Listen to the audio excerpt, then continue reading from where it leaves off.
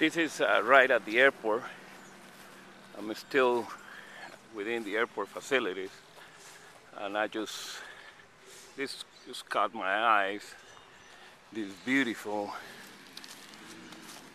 gorgeous tree